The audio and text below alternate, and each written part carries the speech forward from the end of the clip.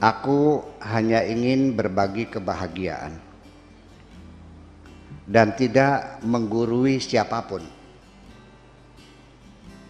Terlalu sulit bagiku untuk menyalahkan siapa pun. Akan tetapi, apabila ada orang yang ingin mengisi raporku, tentu aku sangat gembira sekali. Dan kujamin aku tidak akan sakit hati sedikit pun.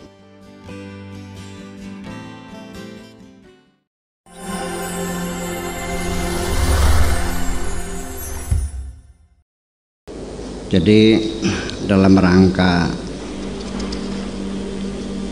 uh, menghadapi COVID-19 ini saya ingin menyumbangkan pikiran supaya teman-teman merasa tenang. Jangan panik bahwa jumlah korban serangan virus corona terus meningkat dari waktu ke waktu belum ada tanda-tanda penurunan angka. Sudah barang tentu banyak orang semakin takut dan panik. Gejolak emosi di dalam diri kita semakin gaduh. Baik rasa takut, cemas, khawatir, gelisah, dan lain sebagainya. Emosi yang ada di dalam diri kita ini mempunyai spektrum yang sangat luas sekali. Sekalipun memang kebanyakan dari kita tidak dapat merasakan dan memilah-milahnya, sehingga tidak dapat dihindari, hampir kita semua memiliki reputasi negatif yang membuat kita merasakan bahwa diri kita sekarang sedang terancam. Minimal paling tidak setelah beberapa hari kita mengisolasi diri dalam rumah, kita terjebak dalam suasana bad mood. Petunjuk-petunjuk kesehatan untuk menghindari virus corona harus kita taati. Seperti sering cuci tangan, menggunakan masker, jaga jarak, menghindari kerumunan dan lain sebagainya. Tetapi bukan itu saja, ketahanan tubuh juga sangat menentukan banyak kasus terjadi seseorang yang membawa virus corona tetapi tidak sakit. Disebabkan karena daya tahan tubuhnya istimewa. Untuk menghindari supaya gejolak emosi tidak semakin gaduh tidak perlu kita saling menyalahkan. Baik TKW yang pulang kampung masih tetap berkeliaran maupun menyalahkan pemerintah yang dianggap kurang tanggap dan lain sebagainya. Ketenangan jiwa dan ketahanan tubuh serta usia merupakan satu paket yang tidak dapat dipisahkan.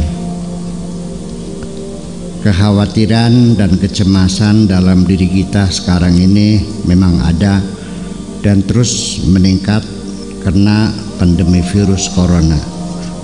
Tetapi kita tidak boleh menyerah. Kita harus terus melawan. Jangan sampai perasaan terancam berkesinambungan terus-menerus menguasai diri kita. Kita ini semua kebanyakan dapat mengatur emosi.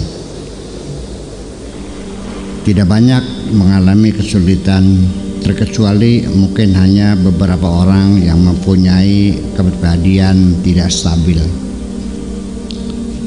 akan mengalami kesulitan untuk mengatur emosinya sendiri. Yang perlu sekarang adalah kita bangkitkan kesadaran kita sendiri bahwa kita ini diberi kemampuan oleh Tuhan untuk mengatur diri kita sendiri. Sudah barang tentu seizin Tuhan juga. Sehingga kita jika kepanikan dan kecemasan atau perasaan apa pun yang malang melincang di dalam diri kita dibiarkan terus menerus maka akan dengan maka sama dengan membiarkan ketahanan tubuh kita terus terseret ke posisi yang sangat rendah. Perlu saya ulangi bahwa Jika kepanikan dan kecemasan atau perasaan apa pun yang malang melintang di dalam diri kita dibiarkan terus-menerus, maka sama dengan membiarkan ketahanan tubuh kita terus terseret ke posisi yang sangat rendah. Sehari-hari kita melihat banyak orang yang terlalu emosional ketika menyikapi sesuatu peristiwa seperti sekarang corona ini mereka membiarkan emosinya terus bergerak liar tanpa ada keinginan untuk mengambil alih sehingga setiap hari selalu menggeram-geram. Ada setan pendamping manusia yang disebut korid rajin membuat sekat-sekat yang mempersempit gerak kita. Ini dapat kita rasakan ketika kita berusaha untuk melerai perasaan kita. Sebetulnya dengan menggeser sedikit perspektif saja kita akan punya kemampuan untuk memberi kesempatan kepada emosi dan akal untuk berdialog secara produktif. Atau dalam bahasa Arabnya tasmimul hiwar al-muthmir bain al-uqul wal masyair. Selanjutnya setelah berdialog akan menghasilkan berbagai kesimpulan yang jauh lebih baik. Dengan kesimpulan-kesimpulan tersebut setidaknya akan dapat membantu kita membuat pemetaan guna memfasilitas memfasilitasi emosi dan rasionalitas dapat bekerja sama dengan indah bukan dengan membantai salah satunya ternyata virus corona lebih mampu mengurangi kejahatan-kejahatan manusia daripada himbauan para juru dakwah yang mulutnya sampai berbusa-busa Lalu apakah ini azab atau ujian? Pertanyaan ini membuat kita jadi memilah-milah takdir Tuhan. Bila yang terkena orang yang kita cintai disebut cobaan. Tetapi bila yang terkena itu yang tidak kita sukai disebut azab.